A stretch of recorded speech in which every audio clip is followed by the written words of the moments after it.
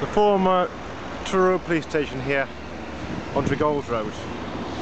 Right next to the dual carriageway, the busy dual carriageway. And bought by Churchill for retirement apartments here.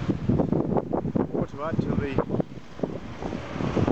quite a large amount of them in the city. Not so many flats for younger people or affordable housing. With this very busy roundabout here. All changes. See they put a few poppies there, probably to do with the First World War commemorations. But it's a very controversial roundabout there. Truro Police Station.